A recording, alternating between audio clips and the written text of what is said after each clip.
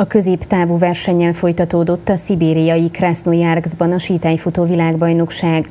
A Romániát képviselő csíkszeredai sítájfutók közül Simeon Szucsiu a 33 Szép Zoltán a 37. helyen végzett, míg Csúcs Klauszt egy ellenőrző pont elvétése miatt kizárták.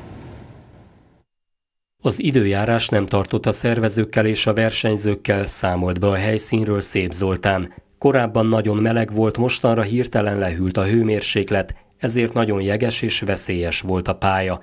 Emiatt nagyon sokan nestek, több versenyzőnek kellett felszerelést cserélnie. Tájékozódás szempontjából is nehéz volt a pálya, Szép Zoltán kétszer tévedett, több percet veszített, ezért csalódott volt a célba érkezéskor. Ám a 37. helye az eddigi legjobb helyezés és időben is csökkent a lemaradása az élen haladókhoz.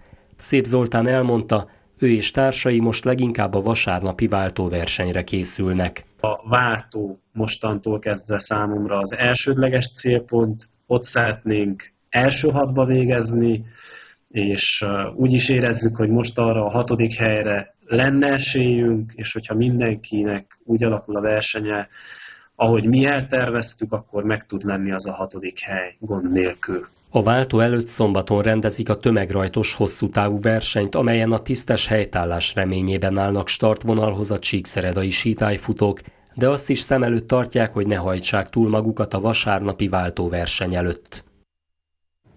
Románia csillaga érdemrend lovagi fokozatával tüntette ki Klaus Johannis államelnök Jenei Imre futballszakembert, volt román és magyar szövetségi kapitányt. Jenei az elismerést teljes labdarúgói és edzői pályafutásáért érdemelte ki.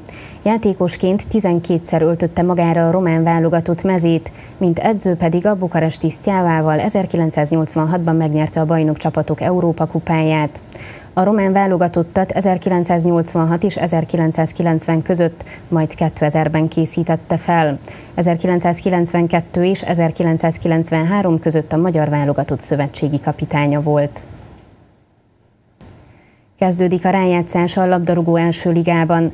A legtöbb szakember új bajnokságról beszél, bár a csapatok az alapszakaszban szerzett pontok felét magukkal hozzák. Így is jelentős változások várhatóak a rangsorban. A Marosvásárhelyi SZIA például a kiesés elkerülésében bízik. Jó hangulatban készül a Marosvásárhelyi ACA a rájátszás alsóházának első mérkőzésére, amelyet a csapat hétfőn este megyesen játszik. Nem csak amiatt, hogy a pontok megfelezése után elérhető közelségbe kerültek a bennmaradást biztosító helyek, de bizakodásra ad okot a javuló forma és a keret megerősödése is, hisz Nikolás Goropszov visszatért Izraelből a Hapoel Tel Avivtól és ismét piros-kékben fog játszani.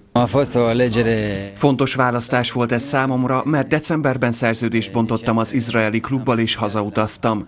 Most viszont az a fontos, hogy az alsóházi rájátszásra összpontosítsunk, és kerüljük el a kiesést. Erre jó esély van vélt az orosz származású argentin-olasz állampolgárságú középpályás.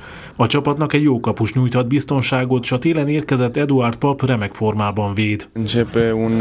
Azt mondhatnám, hogy egy új mini bajnokság rajtól minden mérkőzést egyenként egy-egy döntőnek kell tekintenünk, hogy minél többet érjünk el, és ha a megyesi mérkőzésen megszerezzük a három pontot, nagyon jó esélyünk van a bennmaradásra.